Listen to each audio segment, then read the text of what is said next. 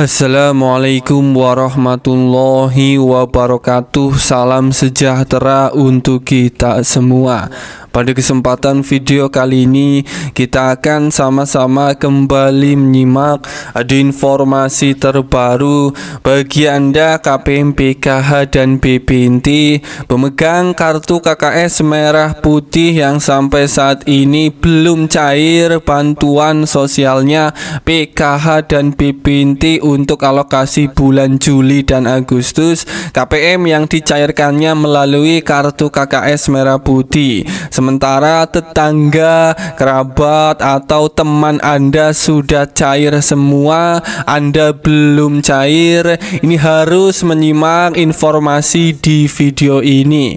Ada kabar terbaru pada hari ini terkait proses pencairan PKH tahap keempat dan BPNT tahap kelima alokasi Juli dan Agustus yang pada hari ini proses pencairannya masih sedang dilanjut dicairkan oleh Bank Himbara ke masing-masing kartu KKS KPM yang namanya sudah berhasil di kan masuk di dalam data bayar SP2D, PKH tahap keempat maupun SP2D bantuan BPNT tahap kelima.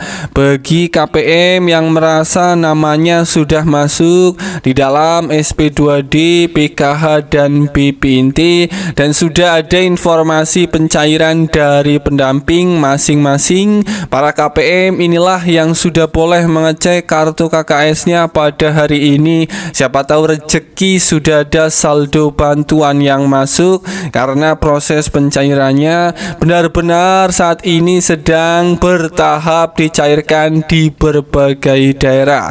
Dan berikut terpantau ada KPM untuk di daerah ini yang baru saja cair bantuan sosialnya. Kira-kira daerah-daerahnya mana saja KPM yang sudah terpantau cair pada hari ini. Langsung saja terpantau ini yang pertama untuk di daerah Daerah Cimahi Alhamdulillah KKS Bank BNI sudah menyusul cair PK tahap keempat Juli dan Agustus Komponen lansia Cimahi Jawa Barat sudah cair. KPM ini cair senilai Rp400.000. Kemudian untuk di daerah Kendari Sulawesi Tenggara juga sudah dicairkan bertahap kartu KKS Bank BRI PKH tahap keempat. KPM ini cair senilai Rp400.000.